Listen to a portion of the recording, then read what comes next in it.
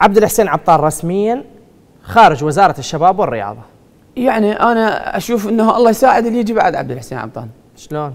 يا الرجل قدم آه، يعني للوزارة وقدم للشارع الرياضي.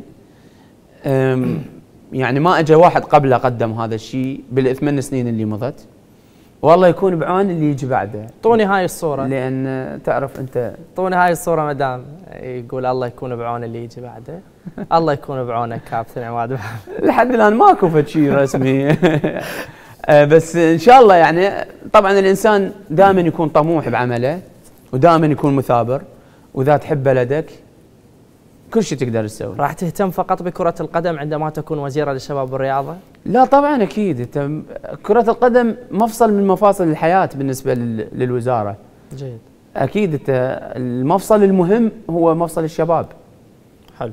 يعني هذا يعني صح عندك مفاصل مهمة جدا اللي هي مثلا البناء البنى التحتية الملاعب اهتمام بالرياضات الاهتمام بالمهرجانات لكن عندك مفصل الشباب هو هذا أهم مفصل من مفاصل. وين ماكو شيء رسمي. بآخر سؤال وأعرف ماكو أحد متصل عليك بهذا الموضوع لكن الاسم انطرح على مواقع التواصل.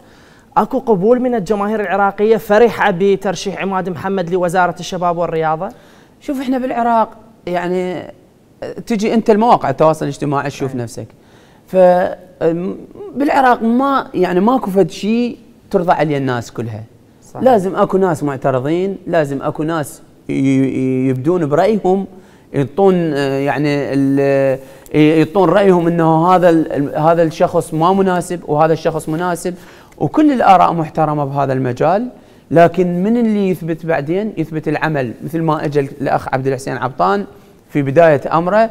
أعتقد كل الناس غالبية الناس اعترضت لكن هسه غالبية الناس تعترض على خروج عبطان منين؟ من وزارة الشباب والرياضة.